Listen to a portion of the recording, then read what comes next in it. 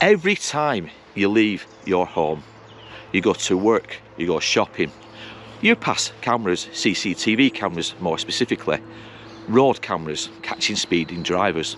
Cameras are everywhere.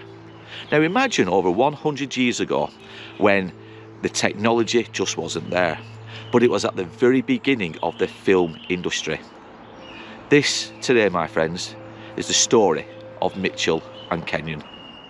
Mm-hmm.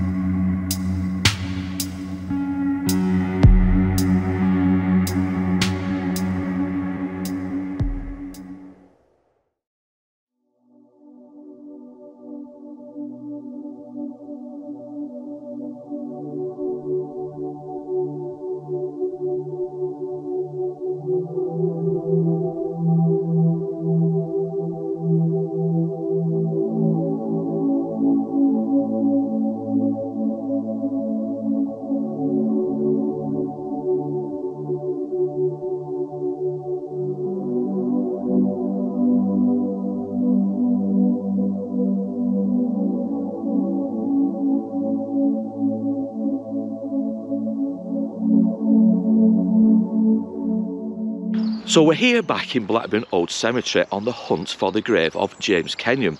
And he was one of a partnership which included another man called Sagar Mitchell. Now together, Mitchell and Kenyon produced over, I think it was 800 mini or short films that captured the hearts of not only the working class people in the northwest of England, but they captured sporting events, newsworthy events. They produced short films um, but it's here in Blackburn where they both worked and lived. Their premises over in a place called Northgate, and I'll show some photographs later on in this video. But uh, together, like I said, they produced over 800, I think it was, short movies. Now, together, they were at the very start, the very beginnings of what will become known as, obviously, the movie industry as we know it today. These guys were at the very, very beginnings they were pioneers. Now back in the day obviously you didn't have editing software, you didn't have cameras and the equipment we have today. So yes it was very basic but what they captured in those videos, in those short films, they're historical in every nature of the sense. You can look back at them now, you can see fine details in each and every video that they did. And as we go towards James Kenyon's grave, we'll talk more about some of these videos and how this partnership formed and eventually dissolved. So the thing is with the Mitchell and Kenyon films, or short films, was that they were usually taken in one shot. Like I said, there was no editing as such back in the day. So everything was done in one clear shot. The cameras were also fixed. They weren't moving around at the time. So basically they had a tripod they had the camera on top and they just recorded what was directly in front. They never moved the cameras around like what we can do with modern technology. But more importantly nearly all of the videos that they shot contained hundreds of people. This was done on purpose. It wasn't done just for a gimmick effect or you know, for a dra dramatisation or anything like that. This was done purposefully. Because what we have to remember is, both Mitchell and Kenyon were savvy businessmen. And each and every person that was captured in those videos, in those short films, was a potential customer.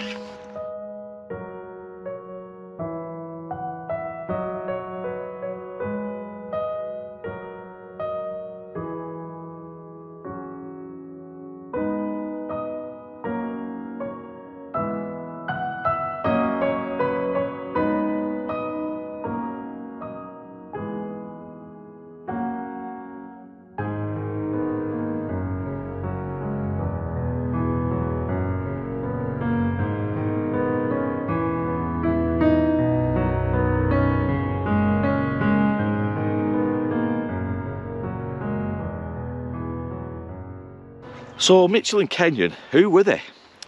Well, Sagar Mitchell, he was a, a well-known businessman in Blackburn, as was James Kenyon. But Mitchell himself, he was a keen photographer and he'd taken photographs of people in his own shop in the centre of Blackburn.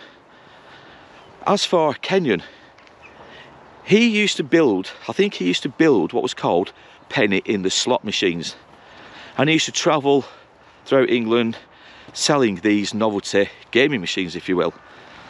But fate combined with luck, you could say, brought these two chaps together. And they, they would, like I say, be at the forefront of the short film industry back in the late 1800s, early 1900s. But within a couple of years of forming a partnership, they created their own company, and I think it was called Norden, and I'll spell it down below. And Norden themselves, or the company itself, would expand dramatically. Like I said, they started out filming workers finishing their shift at work. But then they went on to sporting events and other important events that were occurring back in the day. Now we do have one story of them capturing a truly rememberable or memorable event I should say and that is a football match between Burnley that took place over at Turf Moor and it was this season, the first season after Newton Heath had formally changed the name to Manchester United Football Club. So the match between Burnley and Manchester United, as they were now known, took place at Turf Moor, like I said, on the 6th of December 1902. And as you can see from the grainy footage, I think Burnley are playing in the lighter coloured strip with Manchester United playing in, I think it was a dark red strip at the time. But it was the first season that the club of Manchester United were playing after they changed the name from Newton Heath. Now, Manchester United went on to win that match 2 0. But the actual footage of that match was supposed to be being shown, I think it was in one of the clubhouses at Turf Moor. Um, but because of the result, because Manchester United actually got beat 2 0, or I should say, Manchester United beat Burnley 2 0, Mitchell and Kenyon decided against showing that footage. Now, I can only think that was because obviously the local team Burnley had just been beaten and they didn't want to upset obviously the fans and obviously it could lead to possible trouble. I don't know, nobody quite knows. But that short film had been hidden away for well over 100 years and it was uncovered when many other short films of Mitchell and Kenyon were found discovered in a cellar whilst renovation were going on in one of the old stores or the old shops that they once owned over 100 years ago. Now, the actual film archives, or the films that Mitchell and Kenyon filmed, quite a few of it, or quite a lot of them, can be found on the BFI website, and I'll put a link down below. You can also see quite a lot of the footage on YouTube itself just by searching for Mitchell and Kenyon. But the actual footage and the actual tapes that have been obviously released to the public domain, if you will, they'd been hidden for well over 100 years, like I said, in one of the actual stores that uh, Mitchell and Kenyon once owned in Northgate. Now, three canisters, they look like milk churns from all accounts, had been discovered in the cellar of one of the premises. And it was during demolition work and the subsequent removal of the debris and the rubbish these three milk churn kind of cylinders were found and they were sealed. Now when they were opened up, they contained, each, each churn contained many, many tapes, or not tapes, but reels, if you will. Nobody knew what to do with them. I think it was a local historian called Peter Warden, or Worden, I'll put his name down below. He took control and possession of these tapes, but he realised the importance of them pretty much instantly he realised that these were historical documents. They documented something that had long been and gone. He also realised that these reels were highly volatile and they could ignite pretty quickly and if one went up the whole lot goes up losing obviously all this important history. So he put them in the freezer and he froze them, I think, until around 2000 or 2002 when he got in touch with the BFI. Now, all these reels now are safe and secure at some institute or library that the BFI own. And painstakingly, they are now transferring them, they're digitising them, as you can see by going on YouTube or the BFI website. But yeah, it, again, it's all fate, it's all pure chance that these reels were discovered. I mean, they could quite easily been just thrown away, and I think they were. I think they ended up going to some waste disposal site, but word got back to Peter Worden about them. But just to think that these could have been so easily destroyed, and even when they were rescued, they were so volatile that the slightest spark and the whole lot would have gone up. So we have to thank Peter Warden for his knowledge and his, his quick thinking in making sure that these reels wouldn't come to any harm because like I said we would have lost all this fantastic history that Mitchell and Kenyon had preserved all those years ago. At the very start I mentioned that the Mitchell and Kenyon films always showed or always seemed to show a lot of people in front of the camera and when you look at the actual footage of a lot of these videos you will see a lot of young lads a lot of young girls coming out of the mills. The lads will be shaking the flat caps in the air, swinging them around. You'll see a lot of elderly people stood there staring directly at the camera. And like I said, there's not just one or two, there's hundreds of people.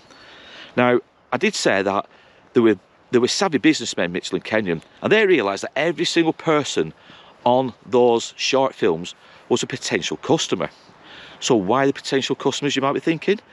Well, basically, what they did during the filming of these short films, they would hand out posters and leaflets, or they'd hand them out shortly after.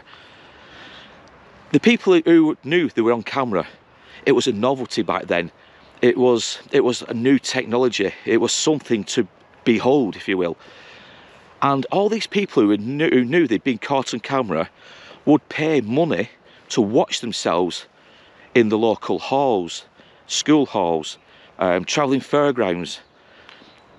You have to remember there were no cinemas back in the 1900s. There wasn't a single cinema. The word cinema I don't think even existed back in the late 1800s, early 1900s. So all the, these short films that Mitchell and Kenyon filmed would be shown, like I said, in these other places. Now, if you're in Blackburn and you've just come out of a mill and you knew that you were being recorded and then that footage was being shown in a local school hall or a town hall or like I said a travelling fair I would want to pay. I'd, I'd want to pay a shilling or whatever it cost at the time to go and see myself on the big screen. And Mitchell and Kenyon knew this full well. Every single person that they filmed in all of their videos was effectively a paying customer now for those who regularly watch our videos you may well notice this little incline here with the sign at the very top, just round about, I think it's round about here. The George Dewhurst grave is to the left, just behind those bushes, and this is the last video I did, which was obviously last last week. Unbeknownst us at the time, James Kenyon's grave, and the chap we've come to see today, was literally just over here. This is how close we were to him and we didn't realise. So Vicky says, without the snow we probably would have seen him. But here he is James Kenyon. Just one part of the Mitchell and Kenyon partnership. This this fella here was indeed a true pioneer for his time and as you can see the friends of Blackburn Old Cemetery are keeping this well maintained and fair play to them and there is a short plaque a small plaque I should say. Moving picture pioneers. James Kenyon established partnership with Sagar Mitchell in 1897 local films for local people. Street scenes filmed by day shown that night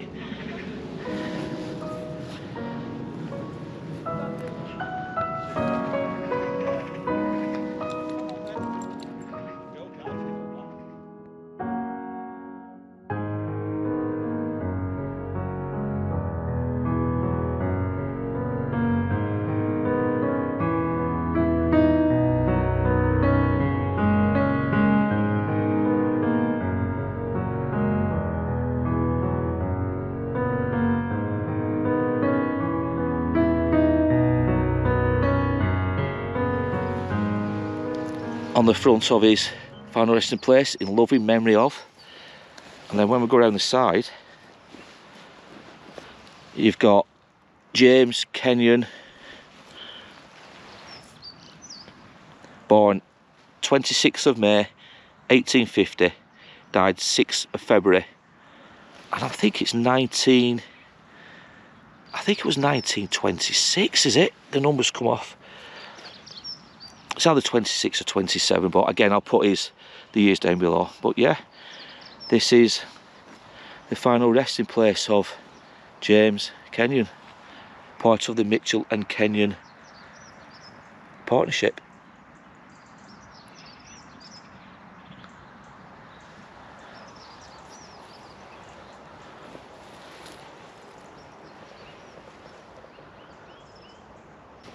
Now on the opposite side, it says, also Elizabeth, wife of James Kenyon, born April 3rd, 1851, died January 16th, 1931.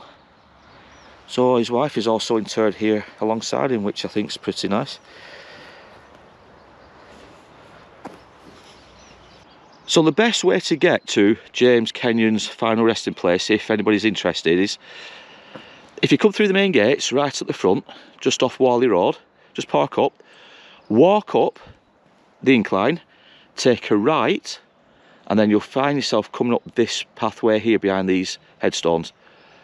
Come around to your left. In front of you, obviously, you'll see this green patch and there's a bench with a memorial marker just over there. But if you come around to your left, you'll see signs for the George Dewhurst grave, which goes up the hill. But to your left, and about what one two three three headstones or graves graves up you'll see James Kenyon just on your left here. So straightforward to find on a day like this when there's no snow and frost. So yeah if you're ever interested and I'll put a map over the top of this anyway showing the location but that is where Mr Kenyon is interred. Now as for the films themselves they are remarkable. I mean, I watched quite a few in the last couple of weeks leading up to today making this video. And there's one in particular that stood out. And there's also, oh, there was a documentary that came out around 2005 and BBC One had a three-part series. And I think it was called The Lost World of Mitchell and Kenyon or The Lost Tapes of Mitchell and Kenyon. But if you look on YouTube, you'll, you'll be able to find them. Now, it was whilst watching that documentary and I've seen the actual footage in its entirety since. But there's one footage where it shows millworkers coming out, and I think it's the Bush Williams or Bush something factory workers. Again, I'll put it all down below. Um, but it shows all these mill workers coming out. Majority are all men, young boys and young adults, if you will. But there's an image of a girl walking in between this group of men. And literally, guys, there's hundreds and hundreds of men coming out. And yet this one girl appears and she stares at the camera. Now, obviously, Mitchell or Kenyon or both are behind that camera. But she's staring directly at you, the viewer, as she slowly makes her way forwards. And then she disappears out of shot to our right hand side or her left hand side. And then obviously she's forgotten for all eternity. But Mitchell and Kenyon have captured that moment and it will be forever there. It's on tape, it's on the internet, it's on the World Wide Web, if you will. Um, but she will now always be seen by people who are interested in this kind of film, if you will, if this kind of history. They've captured a moment. But when you watch it, and I'll put it over the top of here, it's quite haunting. She stares for so long at you, the viewer, or the camera. And it's just a constant stare. But these are the images Mitchell and, and Kenyon captured. Unbeknownst to them at the time, their videos, obviously, they wouldn't have known at the time that these would have stood the test of time. I wouldn't have thought. Like I said, the reels were highly volatile. But they have been captured and they have stood the test of time. And this young girl, who nobody will probably know anything about, was captured. And I'll put it over now, guys, and you tell me what you think of this footage.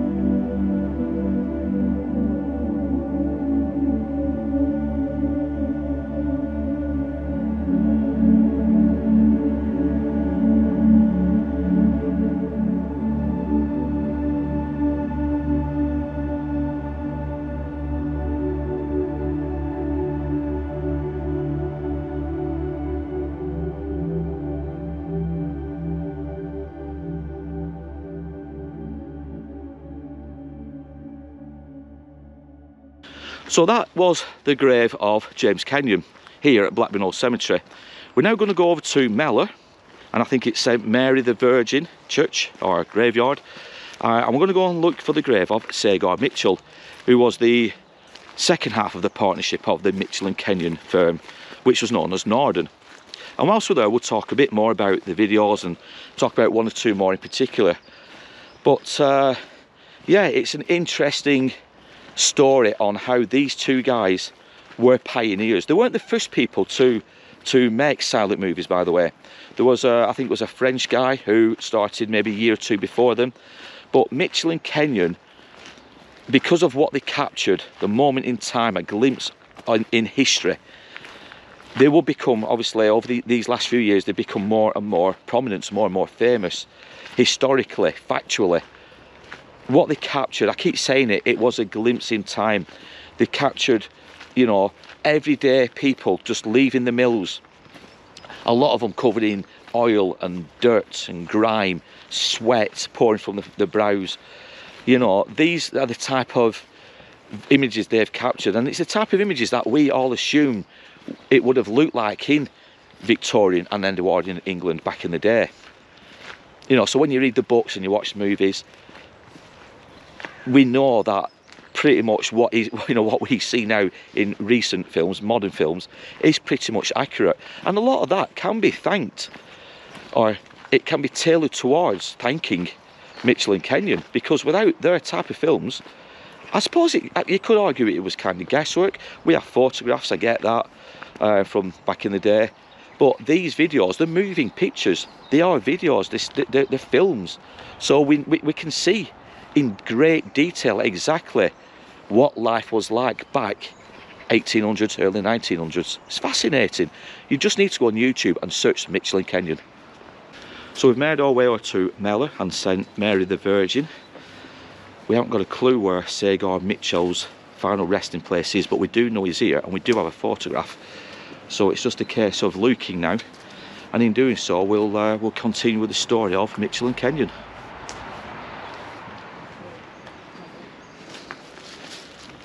and as you can see there's quite a lot of headstones for us to uh, to go through today.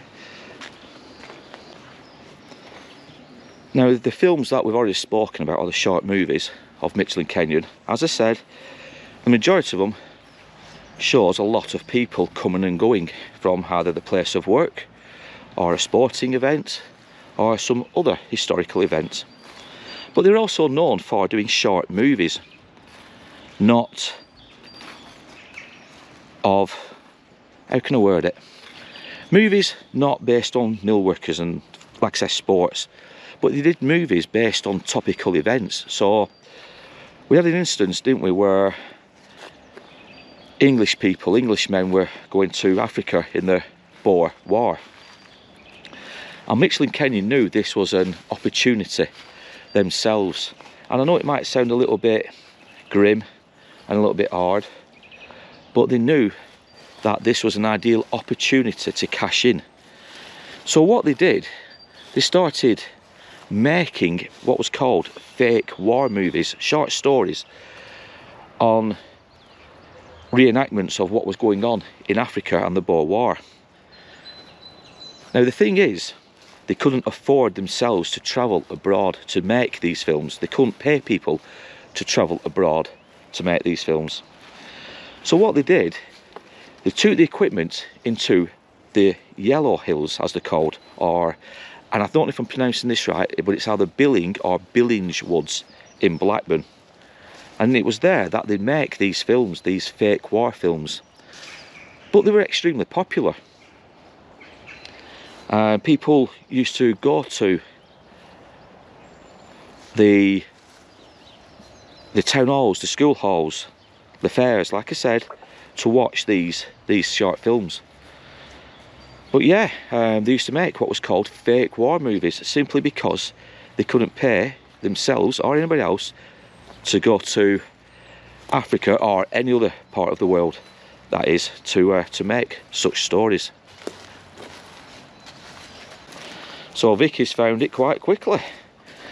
The final resting place of Sagar Mitchell the second of the Mitchell and Kenyon partnership. And here he lies. But unfortunately his name has been covered. So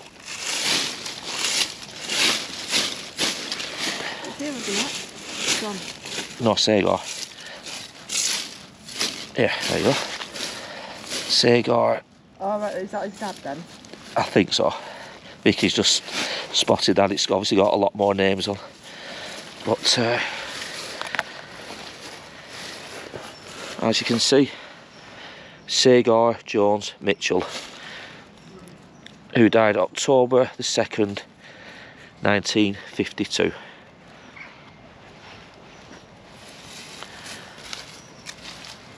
and I think Annie Eliza Mitchell was Sagar's wife. I could be wrong but I'm sure it is.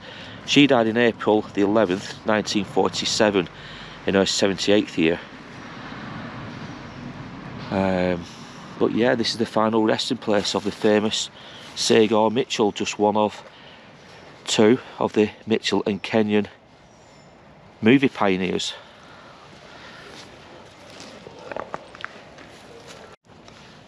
Now, I'm not sure what it says. Until the day break and the shadows flee away.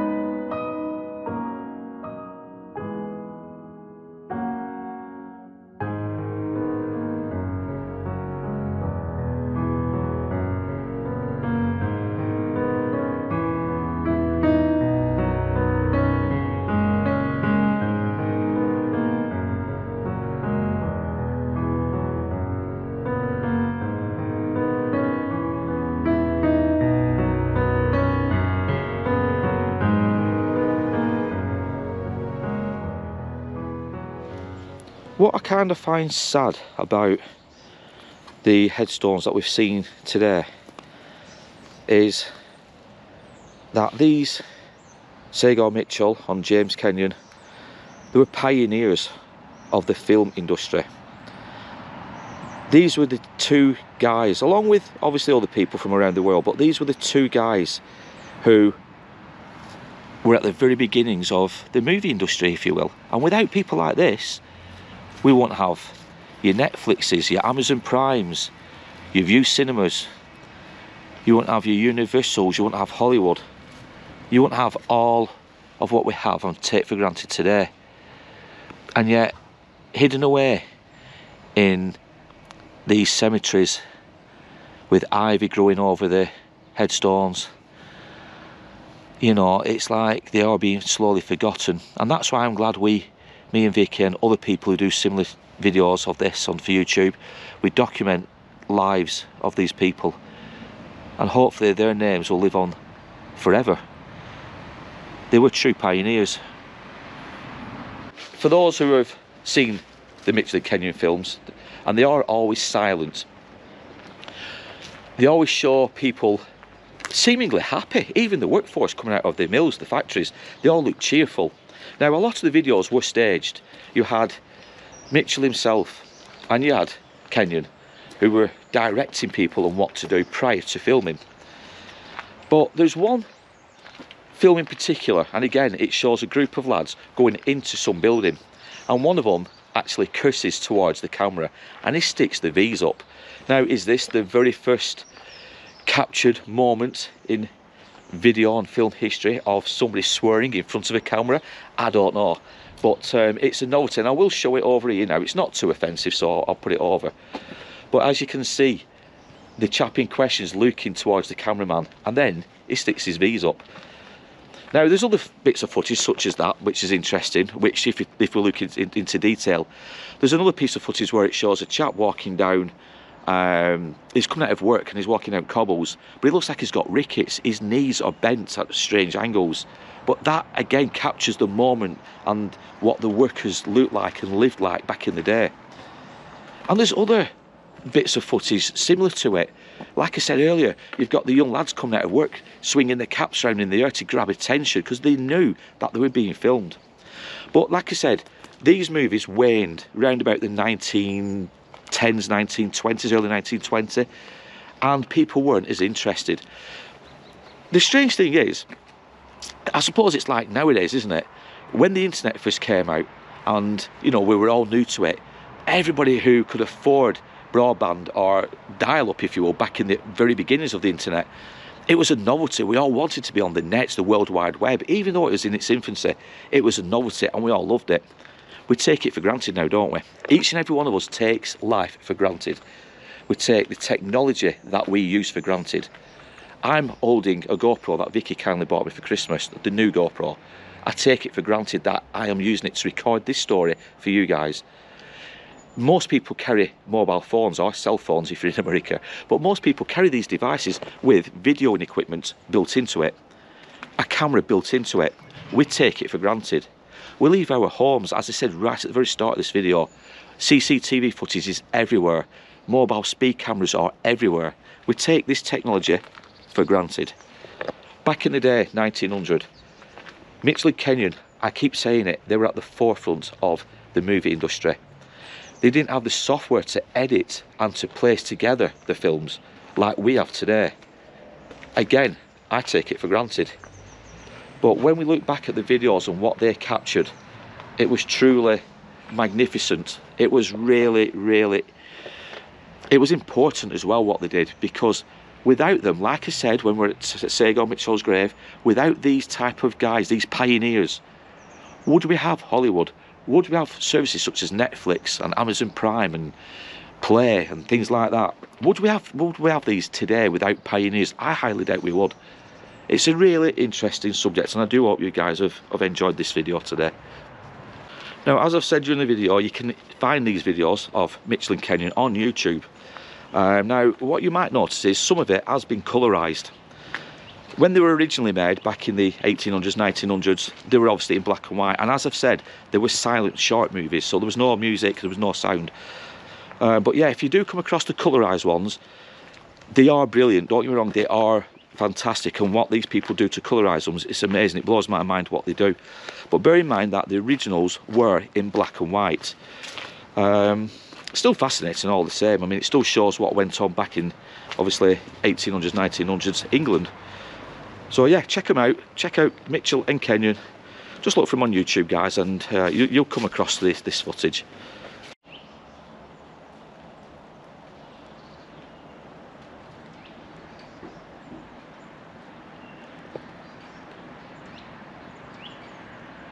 So just like at Blackburn Old Cemetery, for anybody interested in looking into the story of and Kenyon, if you come to Mellor and St Mary the Virgin Parish Church, come through the gates.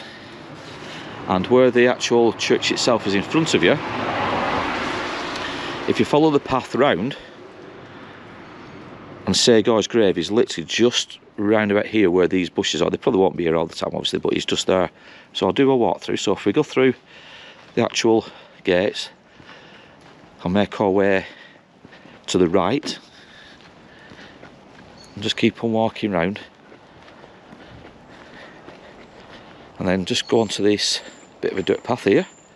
Keep going right. And he's literally a couple of feet down and he's just here final resting place of Sagar Jones Mitchell. So Mitchell and Kenyon, they worked together and it wasn't for many years to be honest. I think it was 20 at max. But eventually, and it was at the eve of, I think it was the First World War. But on the eve, the films themselves weren't getting as many views. People weren't going watching what they were filming. It was like the interest had waned. And eventually, I think it was around about 1922, both Mitchell and James Kenyon dissolved the partnership. Now, I think it was amicable, I don't think there was anything untoward, but they knew there was there wasn't much money left in in what they were doing and they were being kind of left behind by the more prominent American filmmakers. And we have to remember that Mitchell and Kenyon were making short movies at least 10 years before the likes of Charlie Chaplin. So this is how basic things were back in the time. It's truly fascinating story. Um, and I, you know, you guys, if you're interested, please do some of your own research on it because there's a lot more that obviously I've not even touched upon. But if you did like this video, you did like the story and the locations where we visited, don't forget to give us a big thumbs up. Don't forget to comment down below. Don't forget to subscribe to the channel, there's always more videos coming. But in the meantime, as I always say, from Mellor and St Mary the Virgin, take care guys, look after yourselves, and we will be back soon with another tale from our dark but illustrious past. Take care guys.